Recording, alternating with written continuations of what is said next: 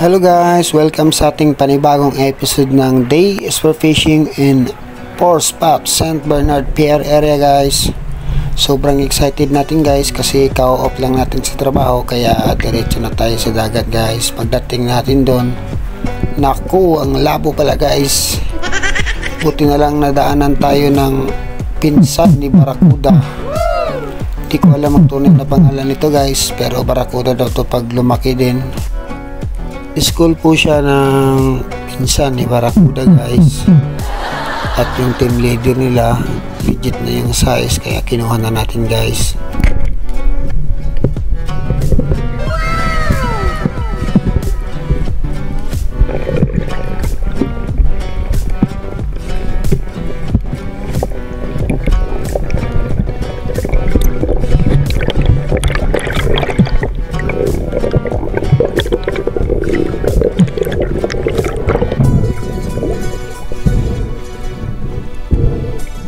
Isang good size na pinsan ni Barracuda guys.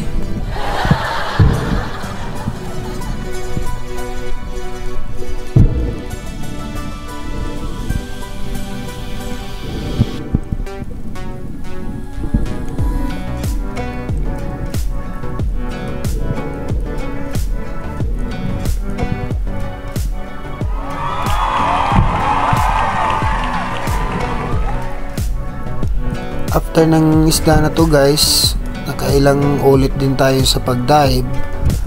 Kaso wala na talagang nagpakita. Kaya namulot na lang tayo ng shell sa ilalim guys. Swerte naman at may dalawang shell na nagpakita in the same location. So instant ulam na to guys. Dalawang shell at isang isda. Ayos na rin to guys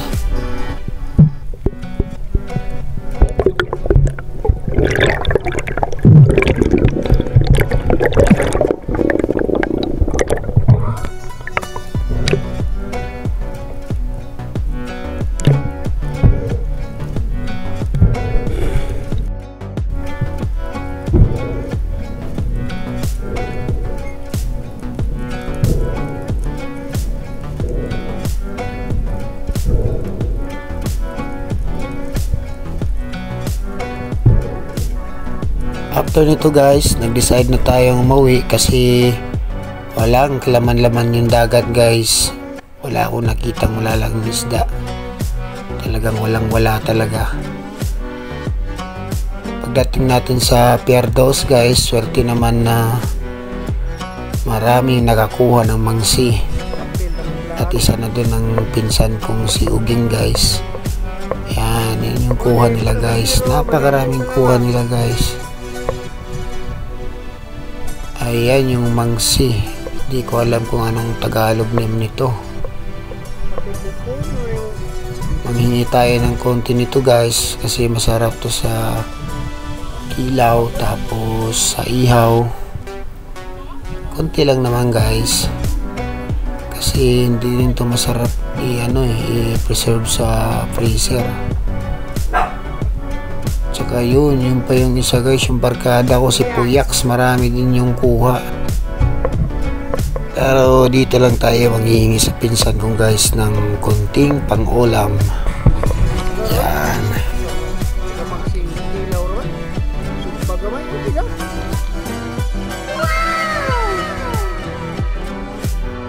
Ayos na rin guys at nakahingi tayo ng konting mangsi at may kuha naman tayong konti rin. So, pwede na to guys. Ayos na, solve na yung pang-ulam natin guys. Thanks for watching mga loads. Subscribe for more spearfishing videos. Bye-bye.